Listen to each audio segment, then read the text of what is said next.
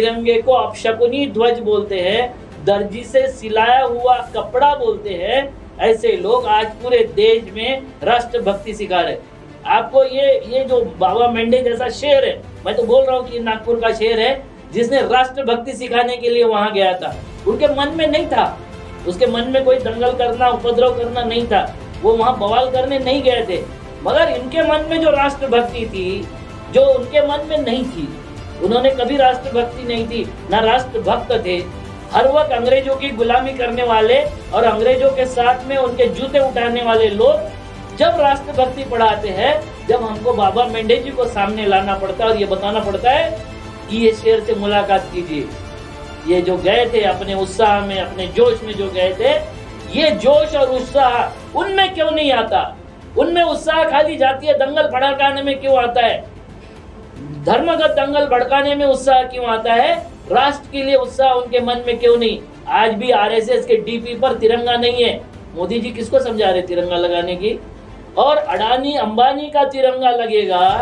खादी ग्रामोद्योग का तिरंगा नहीं लगेगा, क्योंकि आपको पता है कि संविधान में लिखा हुआ है कि तिरंगा खादी ग्रामोद्योग का लगेगा, क्योंकि तिरंगे के पीछे वो ग्रामीण और कुटीर उद्योगों की भावना भी, बुनकरों की भावना भी उसके पीछे है। मगर वो भावना हमने त्याग दी है और हम रेयान धागे का अंबानी का तिरंगा लगाएँगे और ऐसे जो लोग हैं इनके ऊपर 12 साल केस चली। आपका सर हमने बड़े बड़े न्यूज़ चैनलों पे सुना है। चाहेंगे एक बार आप अपनी ज़ुबान से एक बार बताएँ पूरा वाक्य क्या हुआ था और क्यों आखिर वो फीलिंग्स आपके जहन में आई? वो सोच आपके जहन में आई कि हमें आरएसएस के उस हेडक्वार्टर पे तिरंगा लहराना ही होगा।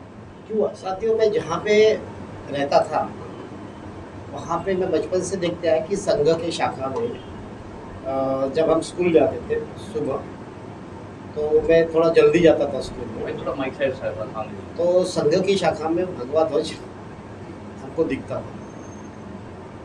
और मैं देखा कि भगवा ध्वज ये फहराते ऐसा मुझे मैंने अपने आँखों से देखा। उसके बाद में कुछ सालों के बाद में मुझे पता चला कहीं पे मेरे पढ़ने में आया कि ये जो आरएसएस है, जो अपने आप को सबसे बड़े राष्ट्रभक्त समझते हैं, ये तिरंगा नहीं फैला तो मेरे मन में ख्याल है कि ऐसा तो हो नहीं सकता, क्योंकि ये तो देशभक्त लोग हैं, ये तो अच्छे लोग हैं। तो मैं खुद जाके एक बार देखा आर एस एस भवन में तो मुझे वहाँ पे संगठन पे तिरंगा मिला। और उसके बाद में कुछ साल के बाद में मेरे को सामाजिक कार्यों में रुचि आई।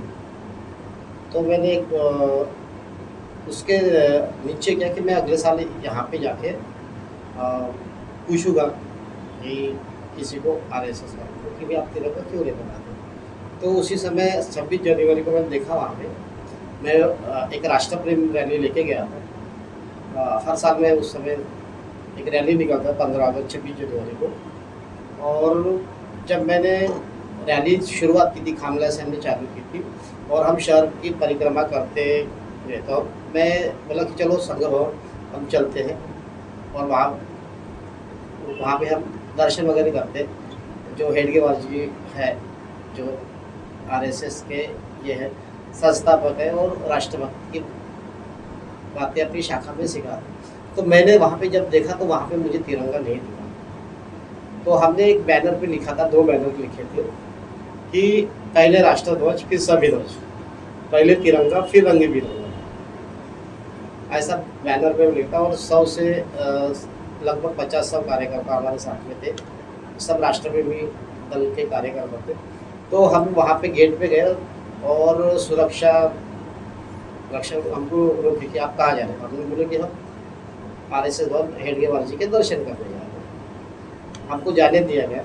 जब मैं वहाँ पे देखा तो मुझे वहाँ पे तिरंगा कहीं पे भी नज़र नहीं आया। छब्बीस जनवरी का दिन था। छब्बीस जनवरी।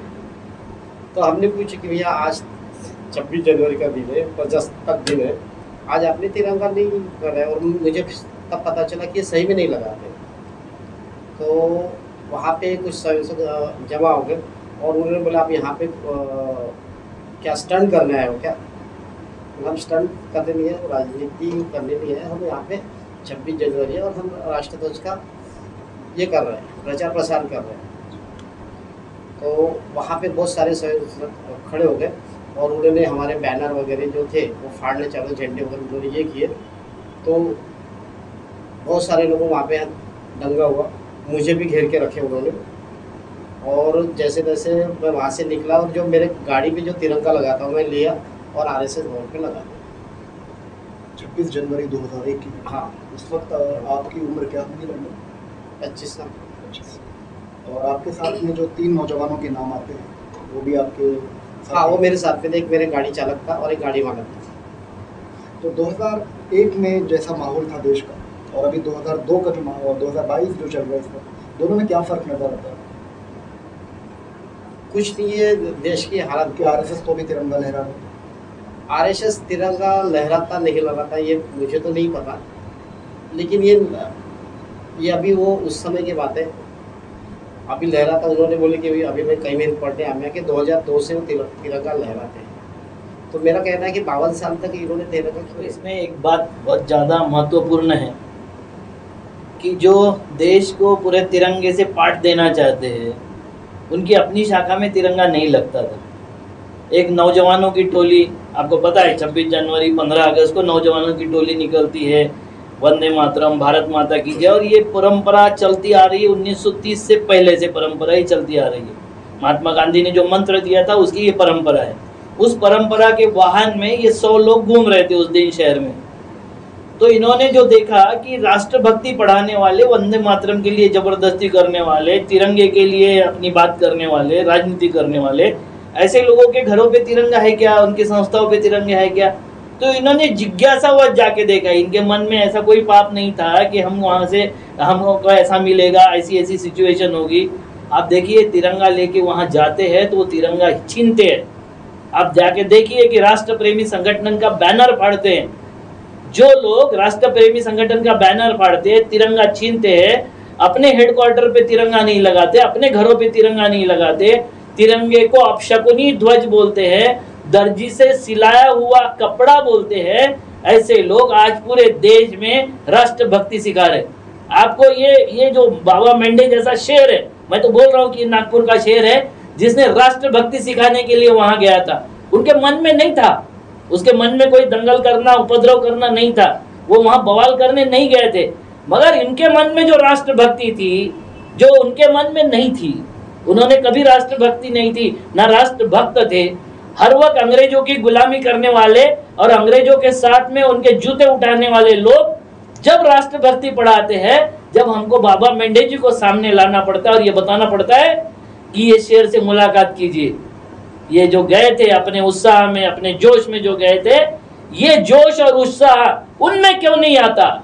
उनमें उत्साह खाली जाती है, दंगल भड़काने में क्यों आता है? धर्मगत दंगल भड़काने में उत्साह क्यों आता है? राष्ट्र के लिए उत्साह उनके मन में क्यों नहीं? आज भी आरएसएस के डीपी पर तिरंगा नहीं है। मोदी जी किसको समझा रहे तिरंगा लगाने की?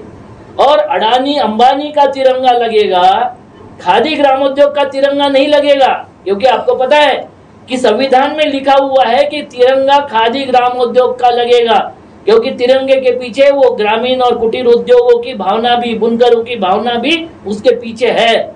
मगर वो भावना हमने त्याग दी है और हम रेयान धागे का अंबानी का तिरंगा लगाएँगे।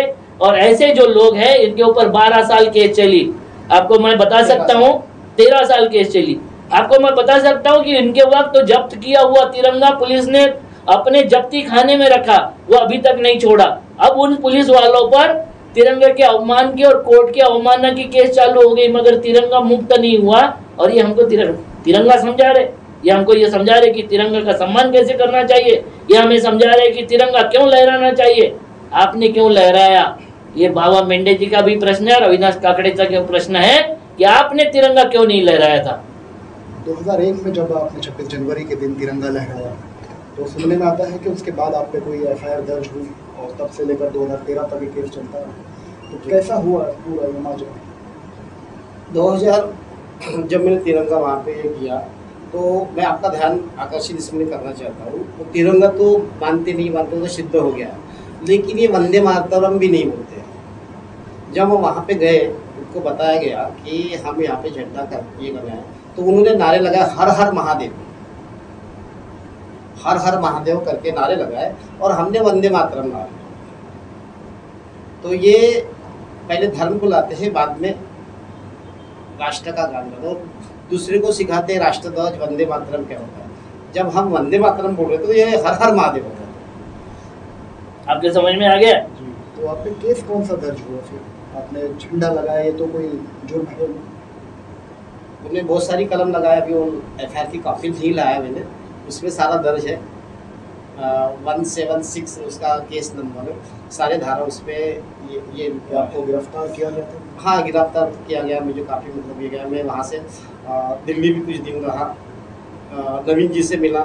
मैं वहाँ पे पेपर में पढ़ा कि नवीन जिंदल जी पे भी केस लगी है। तो उनको मैंने, उनसे मुलाकात की, उनके पिताजी जो ओ पी जिंदल है, उनसे मुलाकात की और उनको मैंने बताया कि सर, मेरे ऊपर भी इस तरीके से केस लगी है। नवीन जी से मेरी, उनसे मुलाकात करी और फिर नवीन जी को मैंने बताया और नवीन जी ने फिर वो सुप्रीम कोर्ट में पी एल आई वगैरह ये किए थे। तो 2013 में केस सॉल्व हो गया। दो हज़ार तेरह में सर केस कौन सी थी? जैसे कोरोना की केसेस है। कोरोना की केस लग नहीं सकती है। क्योंकि कोरोना वैक्सीन ज़बरदस्ती नहीं हो सकती सुप्रीम कोर्ट ने बताया। कोरोना के वक्त जो केसेस हुई उसकी लग नहीं सकती केसेस वैसे इनके ऊपर उनके मुख्यालय में घुसने की केस लगाया था। मुझे जहाँ तक ट्रेस पासिंग की केस थी। और वो तो सार्वजनिक स्थल है वहाँ ट्रेस पासिंग का क्या मतलब है? ट्रेस पासिंग कैसी हो सकती है? जब आप सार्वजनिक स्थल बोलते अभी आपने देखा होगा, आरएसएस मुख्यालय को तीर्थ क्षेत्र का दर्जा दिया गया है। तीर्थ क्षेत्र में जाने के लिए कभी ट्रेस पासिंग हो सकती है क्या? और ये तो 26 जनवरी 15 अगस्त के लिए तो सबके लिए खुला होता है, सारे क्षेत्र खुले होते हैं। मुझे आपने एक डिस्कशन में मैंने देखा कि संबित पात्रा जी कह रहे थे कि उस वक्त सबको तिरंगा लहराने की अनुमति नहीं थी। भाई 15 अगस्त 26 जनवरी को हर जन अपने गाड़ी पे लेके तिरंगा घूमता था। बाकी दिन नहीं लहराने की ये परमिशन थी, जो सुप्रीम कोर्ट के आदेश के बाद मिली। मगर ये झूठ बोलने में इतने माहिर है, और वो संबित पात्रा नाम का जो है ना फ्रेंच एलिमेंट, अराजक तत्व है। और ये सुप्रीम कोर्ट ने बोला है, मैं नहीं बोल रहा हूँ, उसको अराजक तत्व। सुप्रीम कोर्ट बोला है कि बीजेपी के प्रवक्ता अराजक तत्व है। तो ये सबसे बड़ा अराजक तत्व है, ये तो झूठ बोल रहा है। संविधान के बारे में भी झूठ बोलते हैं, तिरंगे के बारे में भी झूठ बोल रहा है और ये सारी झूठ का प्रचार करके सत्ता में आए हुए। आप बताइए कि एक लड़का फरारी में रहता है, महीनों। क्यों? क्योंकि तिरंगा उसने लहरा दिया। उसके ऊपर अटैक होते हैं। वक्त वक्त पर अटैक होते फायरिंग हुई उसके ऊपर। ये कुलबुर्गी और ये था, उस वक्त इतने डर के वो, यानी अपने इसमें चले गए कोच में चले गए। आज भी उनके ऊपर जिस तरीके से अटैकिंग हो रही है, जिस तरीके से उनके भाई, ये तो अच्छे रसूखदार परिवार का है। उसके घर तोड़ने की नोटिस देना टैक्सेशन की नोटिस देना, ये सारा जो करते हैं, ये हरासमेंट है। और ये हरासमेंट इसलिए करते हैं कि कोई देशभक्त उनके देशभक्ति पर सवाल न उठाए। और ये तो ऐसा शेर है जिसने 2001 में पूरे देश में और दुनिया में ज़ाहिर कर दिया कि ये देशभक्त नहीं है। 2001 से लेकर 2022 तक कुछ तकलीफों का सामना आपको करना पड़ा। ऐसा लगता हो आपको कि आरएसएस के नहीं मैं सोचता था कि मुझे कुछ गवर्नमेंट नौकरी मिल जाए कुछ ये करें लेकिन मेरे उस पर केस दायर होने की वजह से मुझे तो सरकारी नौकरी मिली खैर कोई बात नहीं। देश के लिए वो कोई बड़ी बात नहीं। कुछ इनडायरेक्टली आपको कभी अटैक वो होते रहते हैं लेकिन अभी वो मेरे पास में कोई सबूत नहीं इसलिए मैं इसके बारे में कुछ नहीं। तो अभी इस साल आप देख रहे हैं कि घर घर तिरंगा का नारा लगाया जा रहा है। और बच्चों को तिरंगा खरीदने के लिए ज़बरदस्ती भी किया जा रहा है स्कूलों में कि बीस रुपये दो तिरंगा लेके जाओ। कंट्रोल में कहा जा रहा है कि तिरंगा लो। रेलवे के कर्मचारियों के वेतन से कटने वाले हैं चालीस चालीस रुपये तो क्या कहना चाहिए घर घर तिरंगा तो लग रहा है सर? मोदी जी का नारा है ये, अभी अभी का नारा है। ये नारा तो हमने पहले दे चुके हैं। जब मैंने आरएसएस में तिरंगा भड़काया था, तभी हमने हर घर हर घर में तिरंगा फहराना चाहिए। ये पुराना नारा है। अभी थोड़ी। है अभी भी लोगों को क्या चाहिए? शिक्षा, स्वास्थ्य, रोज़गार। लोगों के घर में बिजली का बिल नहीं है, ये नहीं है, लेकिन वो तिरंगा, सिर्फ़ तिरंगा भड़काने से हम देशभक्त नहीं हो सकते। ये देशभक्ति सिखाते हैं, लेकिन ये खुद ही वंदे मातरम और राष्ट्रध्वज के बारे में उनका उस समय क्या स्टैंड था? आपने 2001 में झंडा फहराया, तब से आरएसएस 15 अगस्त और 26 जनवरी पे तिरंगा लगाता है मेरे को तो ध्यान में नहीं है, और कोई बोल दे। ऐसा तो मेरे को, मैं काफ़ी बार गया उनको दिखा नहीं। क्योंकि इसकी कई शाखाएँ हैं जहाँ पे लहराया जा रहा है। आज तक तो कहीं पे मेरे को साबित कर दे कोई तो मैं शायद उनको सलाम करूँगा। उनकी शाखा में तो सभी जो प्रांत शाखा होते हैं, वहाँ पे कहीं पे रोज तो भगवा ध्वज फहराते हैं। लेकिन भगवा ध्वज भी कैसे फहराते हैं? एक मंदिर होता है, और मंदिर पे शिवालय उसके पे ध्वज होता है। तो ये राष्ट्र ध्वज को छोड़ो। ये भगवा ध्वज का भी अपमान करते हैं। ये जो हाफ़ सैल्यूट है, ये हमारी संस्कृति के लोगों को ये संस्कृत सिखाते हैं, लोगों को देशभक्ति सिखाते हैं लोगों को तिरंगे के बारे में सिखाते हैं, लोगों को हिंदू यानी भगवा ध्वज के बारे में। लेकिन ये रोज़ उस भगवा ध्वज का अपमान करते हैं, वो ध्वज नीचे लाते हैं और उनको ये हैप सैल्यूट करते हैं। हमारी संस्कृति ये काफ़ी अभी देखे हमने नहीं आप ये देखिए कि कैसे कमर्शियलाइज किया है वो तिरंगे। रेलवे कर्मचारी को छत्तीस रुपए में बेच रहे हैं। पोस्ट ऑफ़िस वाले पच्चीस रुपए में बेच रहे हैं। बीजेपी कार्यालय वाले बीस रुपए में बेच रहे हैं। जो एनजीओ और बाकी जो संस्था है, वो अठारह रुपए से बीस रुपए तक बेच रही है। उसमें भी मुनाफा हो रही है। हर काम धंधा है। इनके लिए धर्म धंधा है, इनके लिए राष्ट्र धंधा है, इनके लिए तिरंगा भी धंधा ही है। संघी विचारधारा वालों के सोशल मीडिया अकाउंट पर जब देखेंगे आप तो आपको एक प्रोफ़ाइल पिक दिखेंगी कि भगवा हमारी शान तिरंगा हमारी जान। ऐसे कुछ नारे लगाए जाते हैं। तो डीपी पे क्यों नहीं? आरएसएस के डीपी पे तिरंगे क्यों नहीं आए? सर मैं आरएसएस तो... के सारे स्वयंसेवकों के घर पे तिरंगे क्यों नहीं है? हमको क्या तिरंगा सिखाएँगे? भाई मेरे चाचा ने गोली खाया यार तिरंगे के लिए। तेरह अगस्त 1942 को तिरंगा पोस्ट ऑफ़िस पर लहराने के लिए मेरे काका जब निकले थे तो आप देख लो, मैं हॉस्पिटल के सामने छाती छीना तान के खड़े थे और अंग्रेज़ों ने गोली मार के उनको मार दिया। हमको सिखाएँगे? हमको बताएँगे, तिरंगा का सम्मान क्या होता है और तिरंगा क्या होता है? ये उनको सिखाने की ज़रूरत है, जिनको बाबा 2001 में सिखाना शुरू कर दिए थे। और घर घर तिरंगा, हर हर तिरंगा, और हर हर मोदी और घर घर मोदी, ये पहले से इनके नारे ऐसे ही है। ये कभी किसी राष्ट्र का सम्मान नहीं कर सकते, ये कभी किसी राष्ट्र ध्वज का सम्मान नहीं कर सकते, ये किसी किसी राष्ट्र के संविधान का सम्मान नहीं कर सकते। इनकी अपनी एक विचारधारा है, स्वयं के लिए जीते और स्वयं के लिए ही ये काम करते हैं। सर ये तो राष्ट्रध्वज का तभी आपने देखा ही है, बावन साल से। मैं तो कहता हूँ, ये भगवा ध्वज को भी नहीं मानते। मैं तो बोलता ये वंदे मातरम दूसरे से कहलवाना थे लेकिन खुद नहीं कहते। अब जब हम वहाँ पे पहुँचे तो इन्होंने हर हर महादेव का नारा दिया और हमने वंदे मातरम कर दिया और जब हमने वंदे मातरम का नारा दिए तो हम पे लाठी बरसाए। लेकिन हर साल पंद्रह अगस्त और छब्बीस जनवरी के मौके पर तिरंगा लगा लहराया जाता है। मुझे इस बार देखने में नहीं आई जब से मैंने पढ़ा तब तब से मैंने आर एस का मुख नहीं देखा।